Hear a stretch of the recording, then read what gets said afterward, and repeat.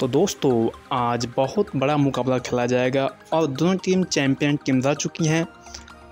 तो देखने में नज़ारा होगा और देखने लायक होगा कि दोनों टीम आपस में लड़ेंगी और इन दोनों टीम का मुकाबला बहुत कड़े का मुकाबला होता है। तो दोस्तों, एक तरफ़ रोहित की सेना होगी और एक तरफ़ माही भाई की सेना होगी। दोस्तों, आईपीएल का सबसे बड़ा मुकाबला चेन्नई और मुंबई के बीच, जो मुंबई वानखड़े मैदान में खेला जाएगा। दोनों टीम अपना पिछला मैच जीतकर आ रही हैं। शुरुआत में मुंबई की प्रदर्शन बेशक खराब रही हो, लेकिन पिछले दो मैचों से उसने रफ्तार पकड़ी है। मुंबई के बल्लेबाजों ने जिस तरह से पिछले मैच में बैटिंग की है, वह देखने लायक थी। वहीं चेन्नई ने पिछला मैच जीता तो है, लेकिन उनकी गेंदबाजी आक्रमण कमज़ोर दिख रही है।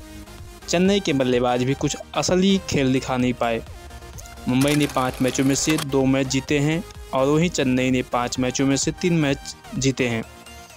और ऐसा पहली बार होगा जब दोनों टीमों में रोहित और धोनी कप्तान नहीं होंगे। ऐसा कभी नहीं हुआ था। दोस्तों, क्या लगता है आपको कि यह मैच कौन जीतेगा?